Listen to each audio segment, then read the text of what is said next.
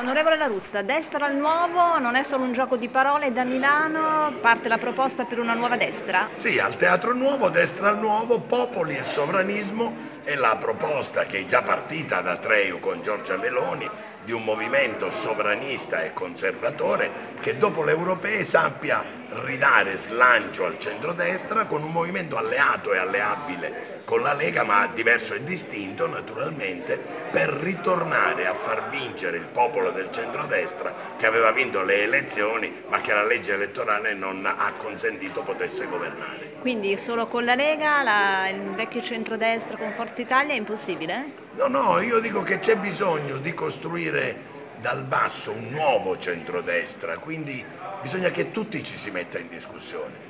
La Meloni ha deciso di mettersi in discussione, ha detto partiamo ora col progetto, la prima tappa saranno le europee, naturalmente ancora attorno a Fratelli d'Italia col suo simbolo, i suoi uomini, la sua storia, ma allargata a tutti coloro che vorranno. E subito dopo le europee dar vita a un movimento che sia lei con la Lega ma sia distinto e, e, naturalmente in grado di far vincere il centrodestra senza più ibride alleanze. In questo nuovo movimento ci possono stare dentro tutti. Quindi nessuna fusione, quindi però un'ultima domanda. Nessuna fusione, bravo, ris, ho capito il senso. Rispetto però al vecchio centrodestra, per ricostruirne uno nuovo, cos'è che non bisogna fare e invece bisogna Beh, fare? innanzitutto non bisogna fare più patti del Nazareno prima cosa che non bisogna fare. Seconda cosa, non bisogna più allearsi con 5 Stelle. Allora noi che non ci siamo mai alleati con 5 Stelle e neanche abbiamo mai fatto il patto del Nazareno, siamo i più indicati a